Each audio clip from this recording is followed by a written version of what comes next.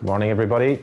As part of our webinar series for Construction Safety Week, um, this particular session is dealing with silica dust as an occupational hazard. Okay.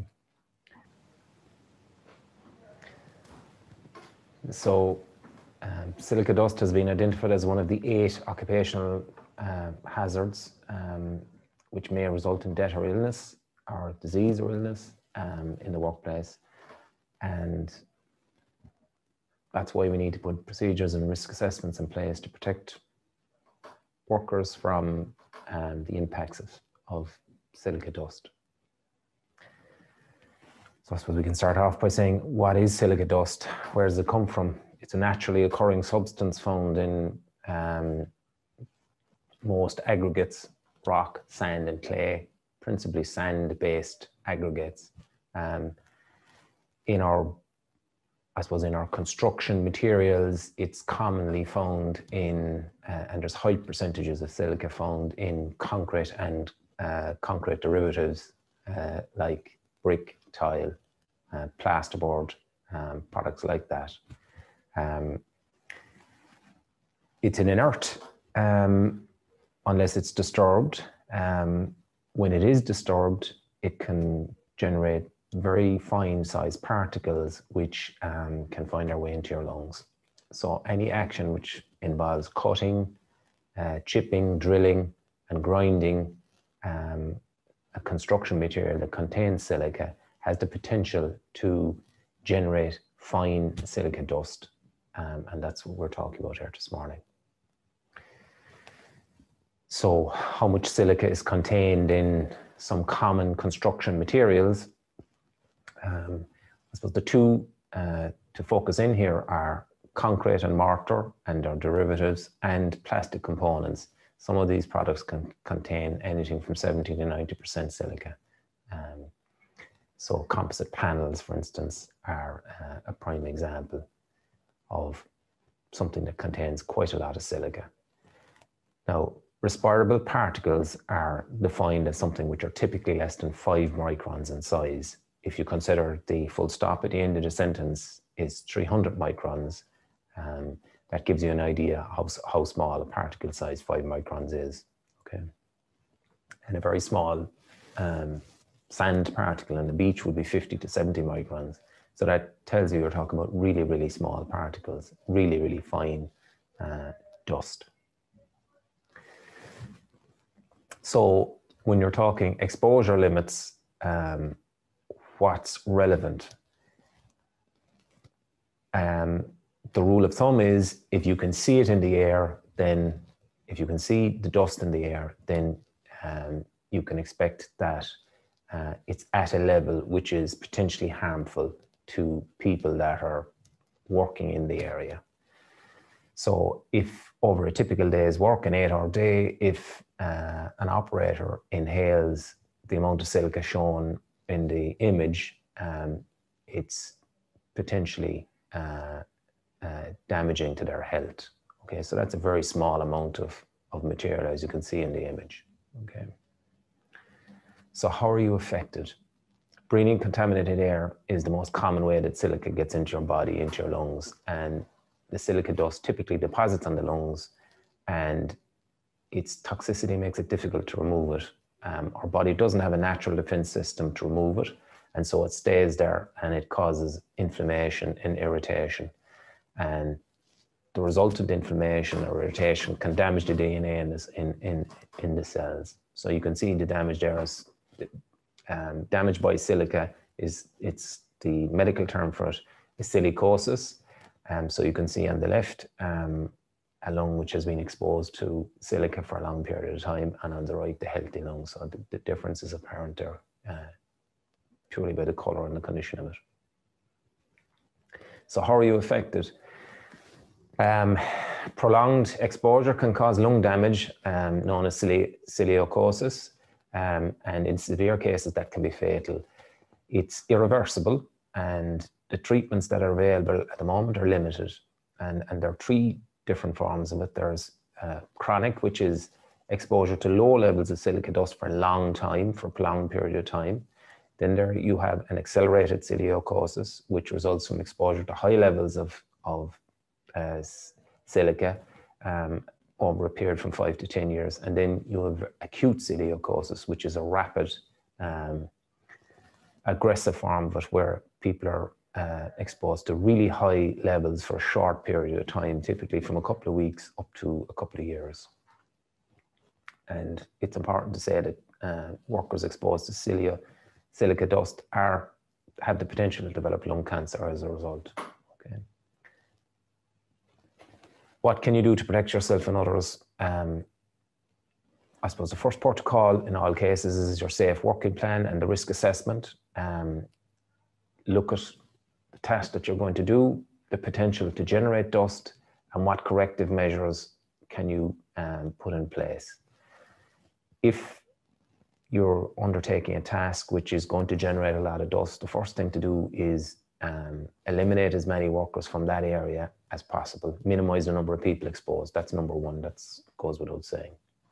Um, avoid blowing the dust um, around and putting it up into the atmosphere as much as you can okay? Um, water sprays and dampening, um, uh, which will require a second operator generally, um, is very effective in keeping down the levels of dust. And um, you can wet the area before you cut or, or chip or work on it, or you can do it continuously while you're, while you're cutting. Um, you can put in an exhaust system to a lot of the equipment um, that used today um, to uh, ensure you minimize the amount of dust that's getting into the atmosphere in the working area. Um, where you're talking about heavily trafficked sites, um, again, you're talking about dampening down the area um, is a good measure to keep the dust under control. Um, it's something I suppose that's only been looked at recently is how we collect dust and dispose of it afterwards. It should really be done by a licensed waste contractor um, and again, use of a vacuum system rather than traditionally brushing it and, and raising dust is, is, is a better measure. Then you're down to PPE, uh, RPE, which is respiratory protective equipment. It's uh, selecting the correct type of RPE, um, eyewear, um, gloves, um, and protective clothing uh, all are really important um, to employ. With just some examples here of poor practices and good practices um, for potentially dusty applications. I suppose the one common to us is uh, chasing concrete walls for um, first fix electrical. That's something quite common in our in our business. Um, on the right hand side, you can see somebody there chasing a, a, solid block wall and he has a tool extraction. He has a vacuum system built into his tool there so he's all his dust is taken away and he's, he's wearing the correct ppe uh, the operator on the left of that image. Um, he's chasing concrete wall there um, without tool extraction or without the respiratory uh, protective equipment. So um, Second example, somebody leveling a floor there, uh, scabbling a floor um, for tiling or whatever. Um, the operator on the left hand side uh, isn't wearing PPE and has no extraction or dampening, um, whereas the operator on the right hand side um, has his dust extraction built in. His vacuum is connected to his um, grinder and he has the correct PPE. Uh, some other examples, um, two people operating consaws on the right hand side. Um, uh, the operator on the left doesn't have dust suppression either. Um, he's not wetting it and he's not extracting from it and he has uh, poor PPE there. Um, two operators on the right hand side um, cutting a curb there. They have water suppression and they're wearing the correct uh, RPE again, uh, alluded to in the previous slide, where uh, gathering dust and disposing of it afterwards, try and avoid uh, using traditional brushing um, and try and use uh, a vacuum system if at all possible with the correct uh, RPE. So what can you do to protect yourself and others? Um, avoid touching your face when you're wearing protective gloves. Wash your face and hands after exposure and before eating or drinking. Uh, it's good practice to shower after work. Um, segregate your work clothes from your personal clothing um, and if possible leave your work clothes protective clothing um, at work um, and avoid taking it home and obviously uh, implement a clean as you go policy as at all times just a, a, word on PPE, the correct type of PPE to use. Um, PPE is uh, it's a supplementary measure and it's probably the last measure to employ um, after you've tried to eliminate and control a hazard. So if you, if when you're looking at PPE, um, particularly for silica dust applications, correct glasses uh, or face masks, uh, correct clothing, um, your RPE is particularly important and you've essentially two choices here. You've got the FFP3, which is a disposable respirator, or you've got the P3 particulate filter fitted to a half or a full face mask.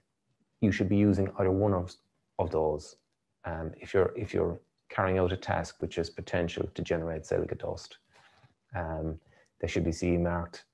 And like all PPE, it should be suitable for, it should be fit the employee, it should be the correct size for you. Um, all PPE should be properly checked for cracks or breaks or um, any kind of damage um, and filters um, on RPE should be regularly checked and changed as well. They have a defined life. Um, so just please keep, keep an eye on that. Um, if you have any other information, you can contact HR or HSQE um, or your direct supervisor. Thank you very much.